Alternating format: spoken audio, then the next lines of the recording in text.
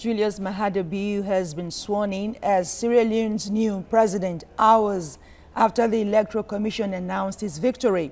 The opposition candidate who won 51% of votes cast in the March 31st runoff was sworn in at a hotel in the capital Freetown.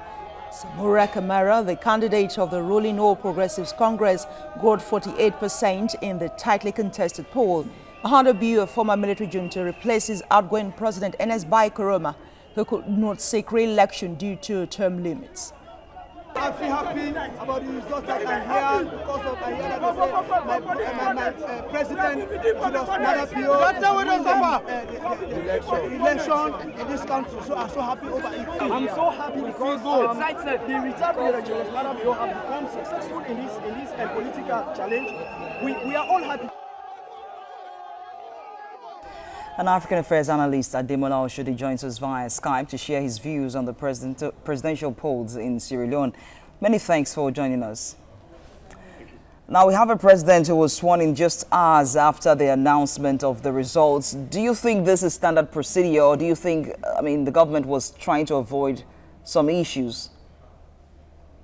Well, been sworn in um, right after an election is rather unusual anywhere in the world. But uh, there's some countries that immediately after the election results are declared, the winner is immediately sworn in, and Sierra Leone just happens to be one of them.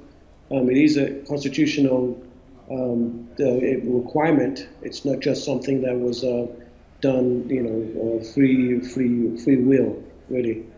But it's rather unusual. All right, but the ruling party, the candidate for the ruling party, Kamara, is already crying for that he will go to court and contest the election. What do you think would be the outcome of that? Well, it's um, the election was uh, observed by a lot of um, election foreign election observers and um, a lot of interested parties and governments, especially the United States and uh, the British government. And everybody basically said the election process was fair and fair. It basically reflected the will of the Sierra Leonean uh, voter. So, um, it, but it's you know in an emerging democracy like Sierra Leone and many parts of the of the world, especially Africa or um, parts of Asia, you have um, the the loser, um, apparent loser, always um, resort into courts. Um, it's standard procedure, and in many cases, they many times they do have a case, but most of the time it is almost automatic. Like once you lose an election in an emerging democracy, you run to the courts and you claim there's some fraud or something going on. And um, if you look at the initial election that was done on the 7th of March, when uh, the uh, the person that won, Mr. Bio, Maada Bio, won slightly in the, in the first vote, there was also issues um, regarding the next election when uh, the both uh, individuals were to run for the uh, for and you know contest for the runoff. They also cried fraud, fraud there. So, but you know, I can assure you, the international community was, you know, paid much attention to the Sierra election, and they didn't see any major problems there. Okay, now we have a country that just recovered from Ebola with a struggling health care. We also have a country that experienced a massive mudslide um, caused by uh, poor infrastructure and deforestation. What do you think this new president should, the issues he should take on head on immediately? First thing is really stability. Um, Sierra Leone has gone through tremendous crisis, the uh, civil war from 1991 to 2002, and then the Ebola crisis, and then the mudslide. It's, a, it's one of the poorest countries in the world. But um, I think stability, as long as it's a stable system, um, investors will be looking at it, will be interested. Investors in Africa, investors in, the, in Europe, and China especially.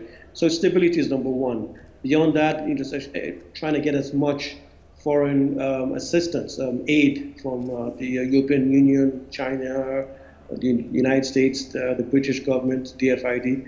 Um, beyond that, I think it's just to, to trod on slowly and carefully and uh, ensure that uh, you know access roads are, uh, are, opened up, people are educated. Education is huge. Um, it's it's going to help the country tremendously in the near future.